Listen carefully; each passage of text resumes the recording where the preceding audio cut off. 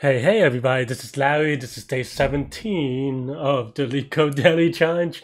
Uh, three weeks in. Uh, uh, hit the like button, hit the subscribe button, join me on Discord. Let me know what you think about today's problem. Count good nodes in binary tree. Uh, I usually solve these live, so it was a little bit slow, watch it on 2x, you know, whatever you need to do. Okay, so given a tree binary, a node x is good, the of tree has if in the path of the root to x there are no nodes to the y greater than x, return the number of good nodes in the in the binary tree. Nodes in Boo are good.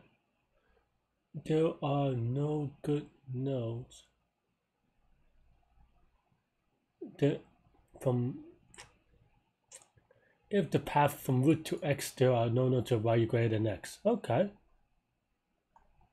Oh, x as in the, that's the value of the node. Okay.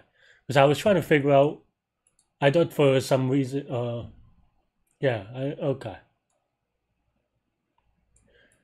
Uh, this was a little bit awkward because uh, they used the node as the, the container of the value and x as in the, the value of the node. So I got a little confused and I thought that it, x is maybe an input, like give me all the good nodes where all the path or whatever is less than three. And then I was like, okay, then in this case, why is three highlighted?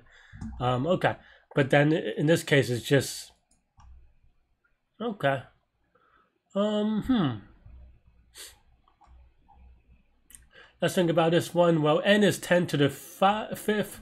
So that means that you probably want something linear. Um, I mean, in theory, n log n work, works okay too, but, but for tree problems, hmm, at least until you do stuff like binary lifting or something like that. Uh, n log n doesn't really come up that much, so it's either n or n square. So you probably want something linear, um, and probably like a depth first search or something like that. Um, hmm. Uh, this kind of explains it a little bit more my confusion. Um, okay. Hmm. I mean, I think th this is pretty straightforward in that on a record you just do a depth first search or um, pre one of the traversals uh, and then uh, or just do recursively with the current max value going recursively on the max. And if the current node is bigger than that then you, that's the max value that you get or that's that's one of the nodes. So okay so there are a couple of ways to do these uh, for tree problems. Uh, one, you know, one that uh, I often do is just have something like da da da da da da da da, uh, da, and then here I reference here, right? Something like that.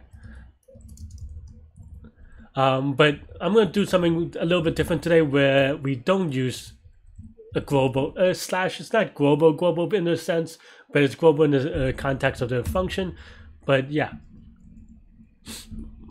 so we can just go um, search of node um, current max as a recursion, and then here we can just write uh, we return the root, the depth first search of the root, and kick it off with um, here, that, that's what I'm looking for is the minimum value for for negative infinity. And in this case, also I'm also double checking whether it can have zero nodes, but uh, but it seems okay. So yeah, we'll, we'll do negative infinity here.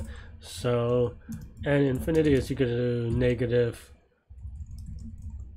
I just want to make sure that because because some if it's only positive, maybe I would choose zero or something like that. But here um, we, we choose negative infinity. Max, if node is none, then we just return zero. Otherwise, otherwise count is equal to zero. If node dot value is less than or current, hmm, wait, if node dot value is greater than you go to current max, then count increment by one, and then we just return count plus the first edge of node dot left. Mm, okay, that, I was going to write it in one line, but but uh, just to make it easier, uh, yeah. Oops.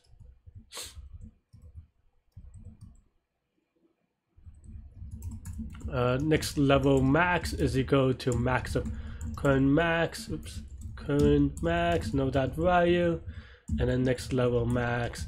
Plus the know that value next level max. Basically what I'm doing recursively is you, you get this function where um, node is the current node which makes sense and current max is the current is the the max of all the values from the root to the the current node, right? Um, up to, not including, right? Um, so that's basically the idea. Uh, let's actually test this before I go on a little bit more. Because I don't want to be one of those like, like in a movie, you have the evil mastermind explaining the explaining everything, and then their plans got foiled by by the the heroes because they were they've been monologuing. I want to at least like make sure that it works before the monologuing, like in uh, uh maybe spoiler alert, so maybe I wouldn't, you know. Uh, but na name that movie. Anyway, um, Okay, so this looks good. As you can see, this is just a depth first search uh, re recursion. Uh, we look at each node once, and this is actually pre-order traversal, so um, you can maybe call this pre-order. I, I I've been doing too, too much competitive to call everything depth first search sometimes, uh, just out of laziness sake.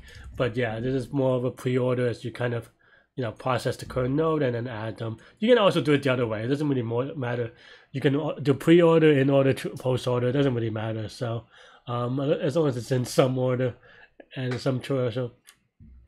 Anyway, so the, the time is O of n because we look at each node once. This is just regular traversal math. And O of h, where h is the height of the tree because that's the um, that's how much uh, the the the cost stack is going to cost you um, because that's just how cost stacks work. Um, that's all I have for today. Gonna keep it short, keep it simple. Uh, let me know what you think. Hit the like button, hit the subscribe button. Join me on Discord. Hope y'all have a great day. Happy, happy Tuesday. Good mental health, and I'll see you later. Bye bye.